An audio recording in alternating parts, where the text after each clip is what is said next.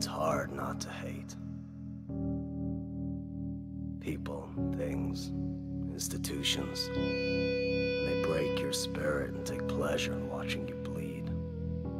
Hate is the only feeling that makes sense.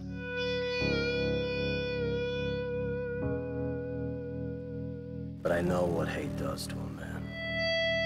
Tears him apart, turns him into something he's not.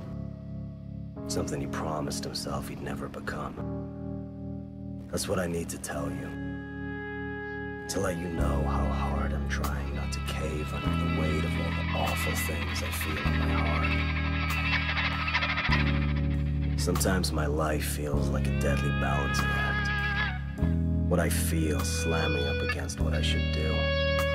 Impulsive reactions racing to solutions miles out of my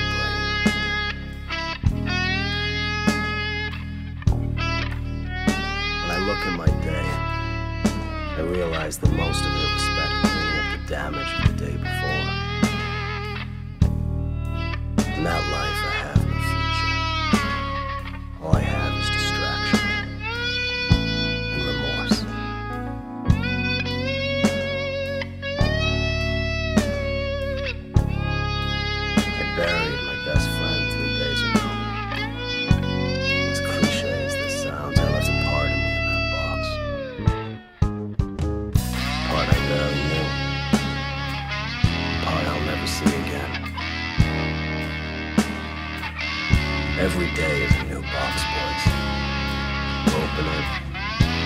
at what's inside.